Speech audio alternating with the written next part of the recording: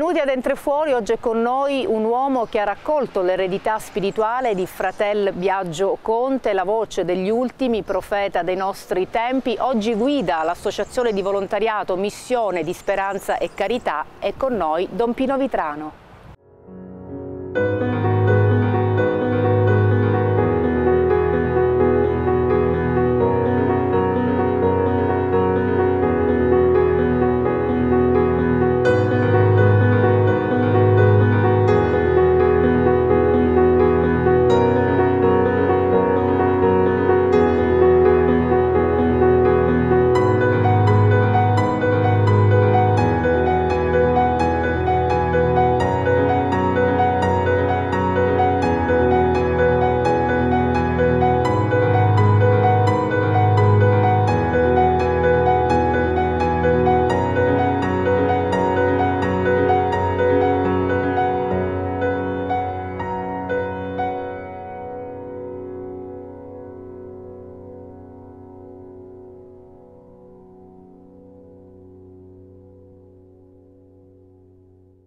Don Pino, un legame con Fratel Biagio lungo 31 anni, perché lui comincia proprio nel maggio del 1993, un legame indissolubile, lo dicevo prima, che neanche la sua scomparsa riesce a spezzare perché lei rappresenta la continuità. Partiamo da quando vi siete conosciuti, come nasce questo rapporto con eh, Fratel Biagio?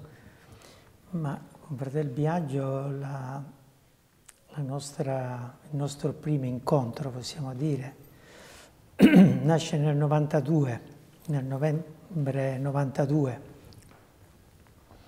Io ero arrivato qui a Palermo da poco, avevo l'impegno lì a Santa Chiara con i salesiani e lì tra i vari impegni l'oratorio, un po' gli immigrati e di mattina l'insegnamento. Questo era quello che mi chiedevano, ecco, lì con fratelli e quindi anche mio, la mia obbedienza qui a Palermo. Venivo da Catania, dopo tanti anni, ecco, la prima volta che facevo base qui a Palermo. Chiaramente non avevo una conoscenza di questa Palermo se non per piccoli accenni così.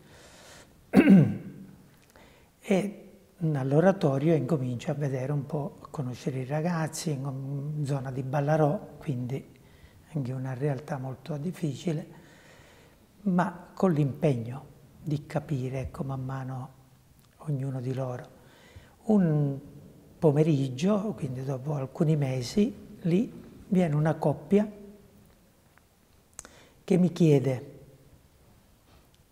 se avevo visto suo figlio, Ecco, individuo il ragazzo, ho detto sì, fino all'altro ieri l'ho visto, ieri non l'ho visto, oggi neppure.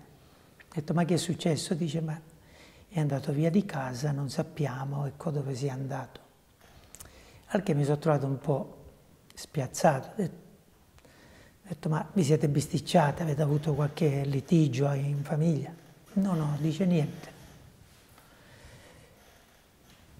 Al che mi hanno lasciato una foto, tessera diciamo così, del ragazzo, un certo Paolo, e loro sono andati via dicendo che se entro la sera non rientrava avrebbero fatto la denuncia, la denuncia per la scomparsa. Per la scomparsa. Al che io chiamo i ragazzi più grandi, i giovanotti, lì all'oratorio, ho detto ma se un ragazzo va via di casa qua a Palermo, che io ancora non avevo dimestichezza, diciamo col così, territorio, col cioè. territorio, dove va? E uno mi fa, i ragazzi di Ballarò, insomma, dice no, se ne va a Torino, un altro no, se ne va a Messina, un altro no, se ne vanno alla stazione che c'è un certo Biagio Conte. Ho detto allora che fa? Andiamo lì alla stazione, vediamo se troviamo sto ragazzo, vediamo se possiamo al che due di loro dice sì e la accompagniamo noi. E la sera, verso le otto e mezza, mi ritrovo lì alla stazione. Chiaramente era il primo incontro, quindi io non conoscevo nessuno e vedo un furgone, i ragazzi mi indicano questo furgone, dice che di solito qua stanno. Trovo uno che stava distribuendo il mangiare. Pensavo che fosse viaggio, ma non, non conoscendo. Ho detto, senti, ma tu hai visto questo ragazzo? Gli ho fatto vedere la foto.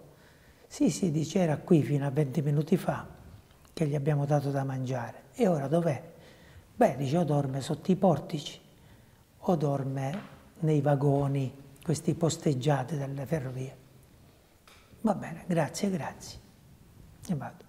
Cerco, cerco, non trovo questo ragazzo. Ritorno fuori, dopo un tre quarti d'ora, e ritorno di nuovo da questo tale che distribuiva e stava distribuendo il mangiare, il cibo. il cibo a un altro che era un tunisino di fronte a me che ho detto guarda ma io questo tunisino l'ho visto già a Santa Chiara perché lì bazzicavano già tutti gli immigrati ho detto che fa? Viene a mangiare qui, viene a mangiare lì che fa? Ecco, mi volevo mi ero fatto un film ecco, per capire un po' anche il personaggio. Dopo poco, quello gli dà il piatto da mangiare, questo tunisino va per assaggiare, oh, che schifo, che... e incomincia a sbraitare, butta a terra la pasta con tutto il piatto. Praticamente non ci avevo fatto caso io che lui era ubriaco, era già, faceva puzza alticcio, di... Certo. Sì, alticcio. Per cui l'alcolista solitamente non ha più le papille gustative, gli vengono bruciate dall'alcol, soprattutto alcol pesante, per cui per lui tutto era scipito, mentre gli altri avevano tutti mangiato, che era un minestrone molto semplice, ecco, di verdure e di legumi. Lì stava succedendo il paratrack, perché, perché immaginate certo, un, momento, di, momento tensione. di tensione in piena strada, tutti si ci stavano buttando addosso per... In quel momento proprio sento la voce di fratello Biagio dietro di me che io non avevo ancora notato. Fermi, non toccatelo. Lui ha sbagliato, ma noi non dobbiamo ricambiare al male col male, una voce tonante, forte, che è anche autoritaria, autorevole, più che autoritaria, autorevole, forte proprio. Lì si sono fermati.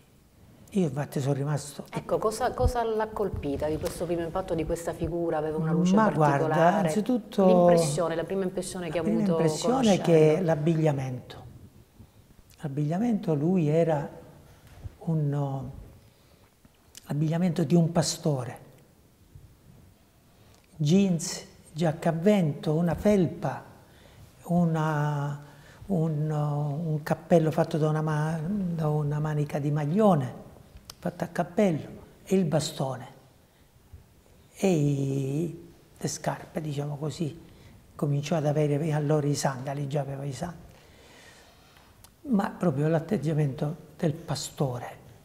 E io sono rimasto colpito perché lui in piena piazza lì, diciamo così, qua in via Balsamo, dove c'era quella piazzuola,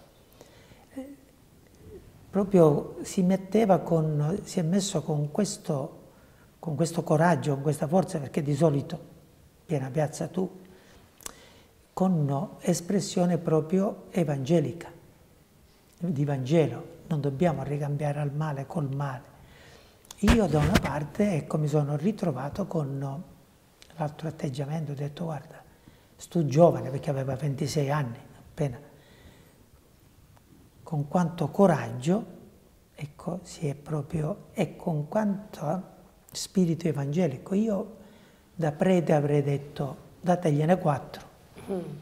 la prossima volta così ecco, non, non, lo farà più. E da lì parte questa amicizia intensa? E lui si, si avvicina, subito dice ecco qui eh, rimanete così, eh, subito liberiamo qua, puliamo, eh, ha detto agli altri fratelli, loro hanno fatto subito pulizia E lui poi si avvicinò a me. Dice, ma tu sei prete? Sì, ho detto sì, sono Santa Chiara. E dice, io vorrei parlare con te. Ha detto io, pomeriggio sono lì all'oratorio. Dopo due giorni me lo so visto spuntare lì a Santa Chiara. Lì ho fatto vedere Santa Chiara e poi lui incominciò a parlarmi della sua esperienza che io ancora non conoscevo. E della sua vita anche questa scelta vita, di lasciare tutto, tutto no? Tutto, tutto, tutto, sì. L'andare via di casa, lui nel 90. 19... Una famiglia benestante, lasciare tutti insomma i privilegi Lì, ecco, per cominciare la sua missione. che di solito tutti ecco, giornalisticamente dicono famiglia benestante, per rassomigliarlo un po' a fratello a San Francesco, Francesco. Avrei qualcosa da... Io da poco ho sotto mano il suo diario che lui scrisse da giovane, giovanissimo, diciottenne, così. Scrive la sua biografia. Ecco, c'è un pensiero che l'ha colpita più degli altri in questa biografia? In questa biografia c'è tanto, perché c'è proprio, si rivela tutto quello che spesso ognuno si è chiesto ma che non viene fuori solitamente. Lì c'è proprio il suo travaglio. È bello che in questo diario, proprio che è un quadernone di 60 pagine, lui mette una etichetta bianca. Spero che un giorno questo diario possa essere pubblicato. E io sono rimasto perché leggendo lì c'è proprio tutto il suo travaglio. Il disagio. Tutto quello che lui ha provato da quando da bambino piccolissimo è andato in Svizzera con i suoi, perché i suoi andarono in Svizzera a trovare lavoro lì. E il nonno che, di fratello Biagio che non era uno ecco, di cuore, diciamo così, buono. Lui lo mette, mio nonno era cattivo, poi ci sono mm. ecco, certe situazioni che fanno capire e poi man mano un ragazzo giovane gli interrogativi su tutti i vari campi e i vari aspetti di cui lui ha provato anche momenti difficili, duri. Di sconforto. Di sconforto, dove voleva una risposta come tutti i giovani, chiaramente, ma perché questo tipo di politica, ma perché questo tipo di intervento così, ma perché, ecco, i perché di cui noi vorremmo delle soluzioni, vorremmo dare delle che soluzioni. Che tanti oggi stanno vivendo, evidentemente. Esatto, di disagio, lì lui alla fine capisce che quel problema è di tutti. È di tutti e quel problema è legato all'altro problema perché è una, un mondo dove noi ci dibattiamo, ecco l'uno che condiziona l'altro. L'insegnamento più grande che le ha lasciato Fratel Biagio Fratel qual è? Biagio ecco, lascia un insegnamento grande, la libertà del cuore e l'amore partendo dal basso, cioè da chi non è amato, che diventa carità. Questi sono gli insegnamenti fondamentali, ecco, perché chi non è amato non è che non sa amare, ma purtroppo è stato deluso, spesso. E allora lui comprende che questi fratelli emarginati, non amati, poi piano piano sono scivolati anche nei drammi dell'alcol, di questo, di quell'altro. Per cui lì, ecco, sta il nocciolo di quello che lui ha voluto provare andando via di casa di la fame, la solitudine e l'abbandono, tutto, tutto, tutto quello che è il camminare da pellegrino. In tutta Europa. In tutta Europa, vivere accanto a loro, vivere con loro, perché spesso noi facciamo eh, degli incontri, dei simposi sulle povertà, su quello, su quell'altro, ma poi rimaniamo, certo. rimaniamo nelle nostre, si dice, poltrone, nelle nostre case, nei nostri ambienti. Lui invece si è calato proprio a vivere da povero, a vivere con loro. Questo comporta ecco, una dimensione che tutti sconosciamo. Se non la vivi. Se non la vive. Ecco, Don Pino, com'è stato questo anno insomma, e mezzo senza Fratel Biagio? Siete riusciti a metabolizzare la scomparsa, soprattutto i suoi, i suoi fratelli, no? come l'hanno vissuto questo anno drammatico anche?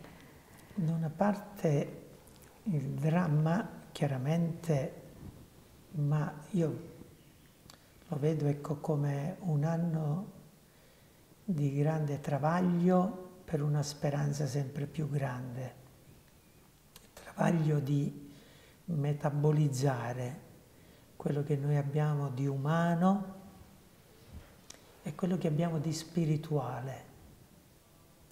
Chiaramente il suo cammino l'aveva portato a una spiritualità forte, una spiritualità che la morte alla fine per lui è stato solo il passaggio. Certo. Non è stata la fine, perché da vero cristiano... Che tutti i credenti ecco, immaginano appunto che ci sia un'altra vita. Invece di solito nasce il dramma di questo passaggio. Lui ce l'ha testimoniato come invece vero passaggio. E noi chiaramente oggi tutto questo lo stiamo vivendo e rivivendo accanto a loro, ai fratelli, sapendo che i fratelli sono i primi che l'avvertono accanto, perché chi è veramente vivo nello spirito non è finito. Allora sentire loro, ho sognato fratello Biagio, sai mi sono ritrovato con lui qui, oppure eh, sai l'altro ieri mh, mm, sentivo proprio un abbraccio, un abbraccio la, la, sua voce. E allora tu capisci che lui non ci ha lasciato ma ha cambiato diciamo così modo di stare con noi con questo spirito Ecco, per lei cosa ha significato ricevere questa eredità anche pesante, no? Perché lei ha sempre detto io sono un uomo che mi piace stare, insomma, low profile, dietro le quinte mi sono dovuto, insomma, incaricare di portare avanti questo messaggio come era nel, nel, nel certo. suo testamento, no? Voleva che fosse lei la guida che proseguisse questo, questo cammino. Ma chiaramente nessuno di noi, ecco, meritatamente, almeno chi vuole o chi ha condiviso una vita in cui ognuno di noi aveva un ruolo, prendere il ruolo dell'altro, perché io mi sentivo sicuro per quello che lui faceva, lui si sentiva sicuro certo. per quello che io facevo. Ora scambiare i ruoli o vivere ruoli diversi, chiaramente non tutti lo comprendono. Noi lo comprendevamo, ci intendevamo solamente con lo sguardo, ma chi invece ecco, non era abituato a vivere con noi in modo pieno, chiaramente trova questo sballottamento. Per cui per me ecco, è un impegno, è un, un ruolo anche eh, impegnativo, non è che soprattutto sapendo non che senta lui lontano, ma me lo sento molto vicino, attenzione. Però giustamente a chi esterni a volte anche momenti di difficoltà, di tristezza, con lui era facile, ci intendavamo subito. C'era una complicità o, speciale. Esatto, o lui mh, mi parlava ecco, di, del problema, di quel caso, di quelle situazioni, o io a lui.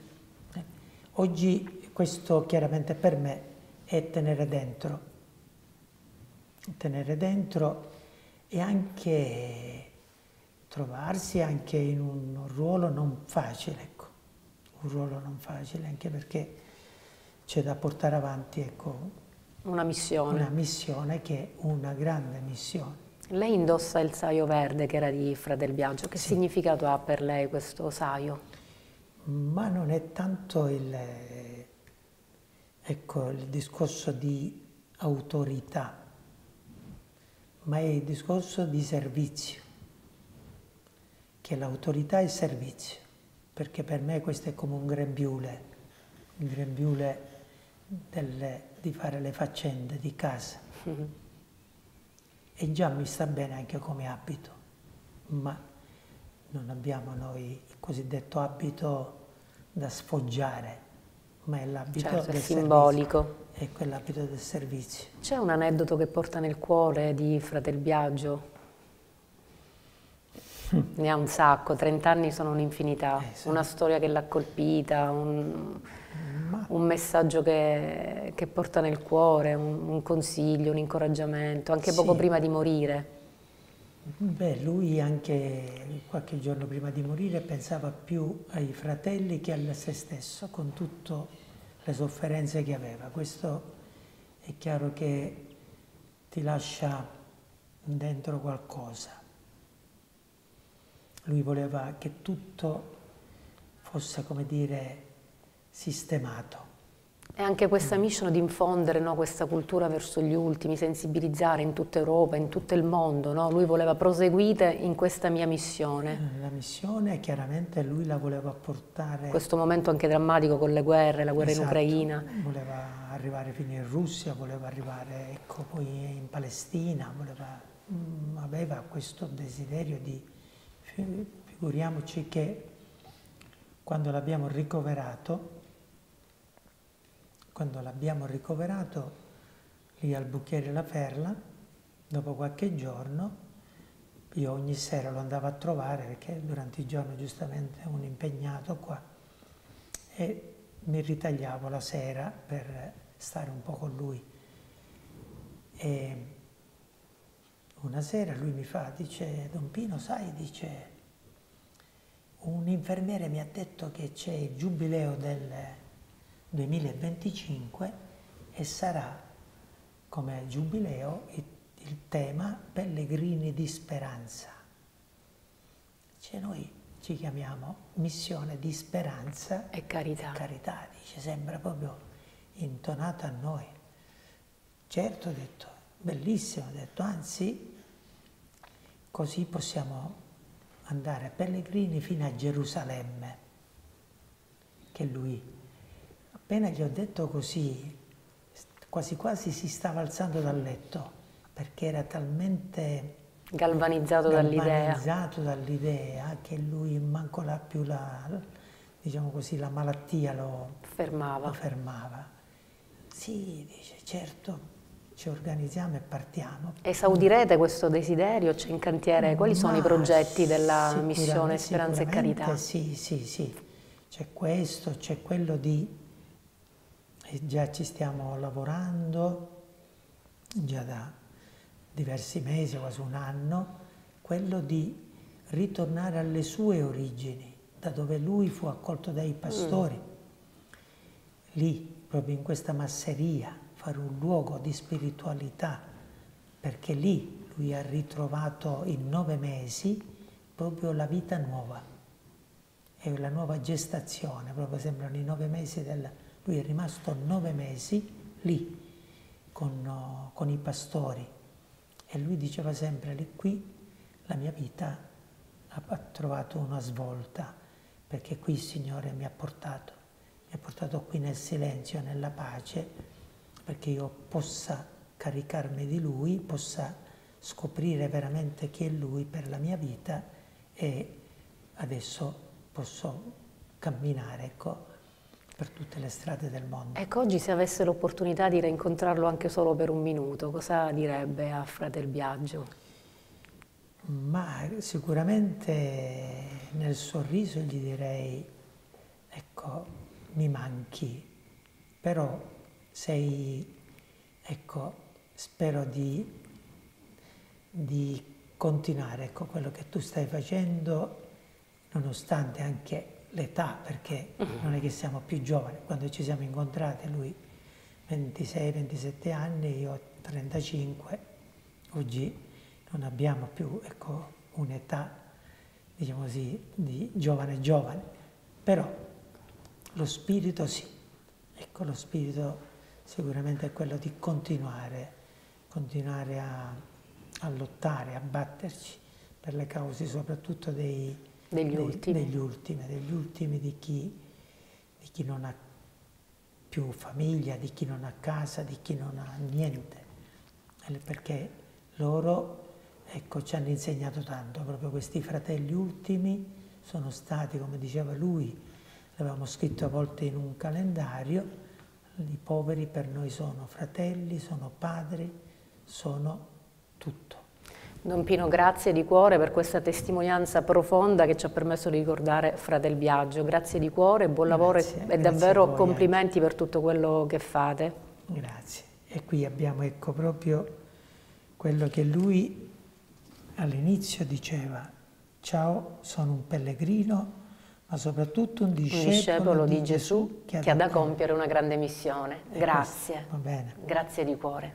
E qui ecco una grande missione sta sorgendo anche dalle parti di Val Guarnera, uniti con i sacerdoti anche di là e con anche tanti cittadini, con quelle di Radusa, con quelle di Gagliano, perché anche lì sta maturando qualcosa di bello, come pure da Godrano. È in tutta la Sicilia, penso, che maturerà qualcosa Godrano di bello. hanno anche messo in scena, proprio lì, i paesani, quelli del paese di Godrano, hanno messo in scena un teatro proprio su Fratello Biagio che vanno girando per i vari paesi a testimoniare proprio quello che loro hanno sentito e avvertito da questi incontri che diversi di loro hanno avuto. Tra l'altro c'è anche uno di 90 anni ah, che recita, che fa pure il pastore, immaginate, cioè con, con tutto il coraggio e la forza di un anziano perché è talmente... L'amore per Fratel Biagio ti porta a sopportare anche questo. Sì, sì, sì, grazie Don Pino, grazie di cuore. Anche a voi, anche a voi.